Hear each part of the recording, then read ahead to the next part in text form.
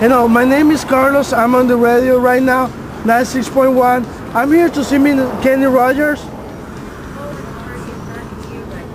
Oh, where, where is he?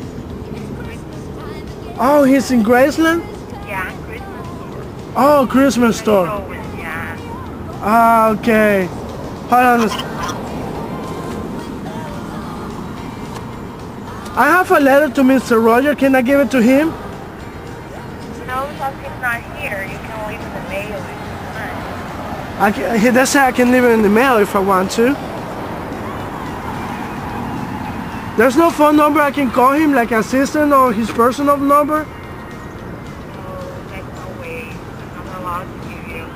Oh, I'm sorry. I'm sorry. They don't allow it.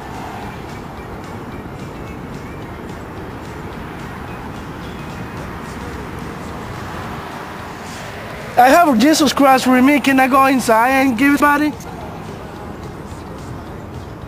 Hello? Hey, Yes, I have my friend Jesus Christ with me.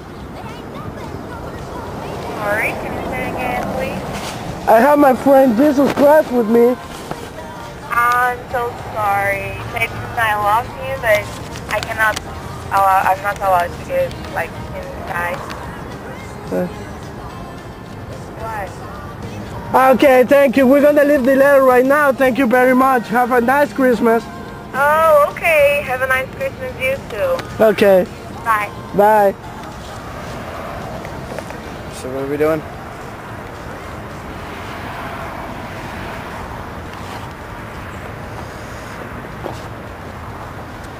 Okay, l- I'll, uh, Ron, Jesus, Ron is gonna leave the letter. You put it in the Okay. mailbox. Okay, now you're gonna read it. Hello?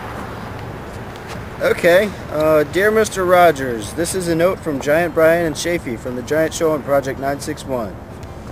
Merry Christmas, Kenny. We hope you have a great holiday. Has anyone ever mentioned to you that with your beautiful white beard you look a lot like Santa Claus? Santa Claus with the voice of God.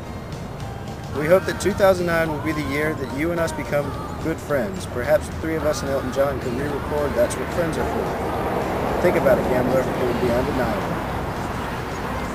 We can all be powerful Atlantans, Mr. Rogers. Ten years from now, we'll all look back and quote your song through the years with the line, I can't remember when you weren't there. It's like today, right? And just between friends, when you recorded Islands in the Stream with Dolly Parton, did you ever think about rocking those triple Ds?